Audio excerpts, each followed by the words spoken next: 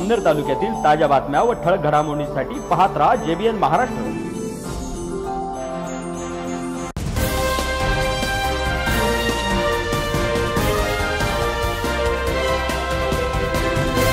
नमस्कार मी प्राजक्ता खरे पाहूयात का ठळक वृत्त. जामनेर शहरातील हिवरखेडा रोडवरील सुयोग कॉलनीत नगर परिषदेमार्फत सुरू असलेले गटारीचे बांधकाम हे निकृष्ट दर्जाचे असल्याच्या तसेच तेथील गटारे तुडुंब भरून वाहत असल्याच्या तक्रारीवरून राष्ट्रवादी काँग्रेसचे युवा शहर अध्यक्ष जितेश पाटील यांनी कठोर भूमिका बजावत नगर परिषदेच्या कामकाजावर तासोरे ओढले आहे.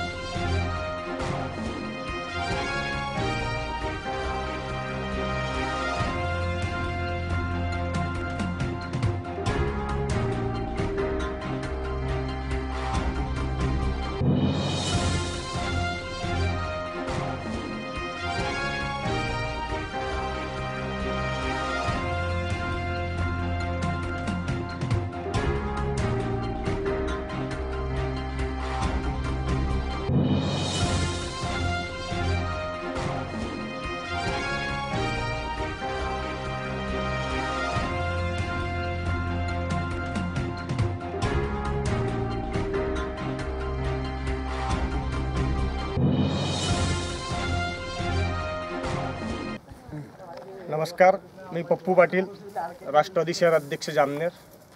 कालच मी सुयोग कॉलनीमध्ये आलेलो होतो जे गडारीचं पाणी पूर्ण बाहेर वाहत होतं. त्याबद्दल मी कालच मीडियाशी चर्चा केली.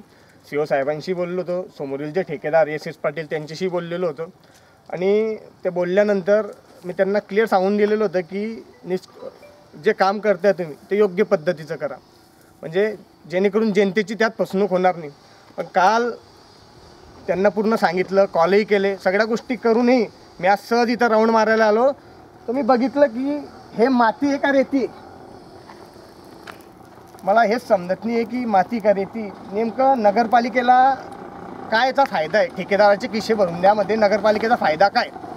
मला हे समजत नाही. ज्या टायमाला मी यांना विचारलं तर हे मला सांगता येईल किंवा आमच्या ठेकेदारांनी असं सांगितलं आहे की बा रेती भेटत नाही म्हणून थोडंसं शिल्लक सिमेंट टाकायचं.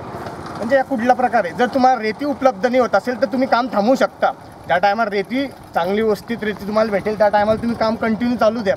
पण जर रेती नाही भेटत आहे आणि त्यामुळे तुम्ही रेतीमध्ये माती मिक्स करून जर काम करत असाल तर पूर्ण वायफाड पैसा जनतेचा जातो आहे त्या कुठेतरी थांबला पाहिजे. मी कालही बोललेलो होतो.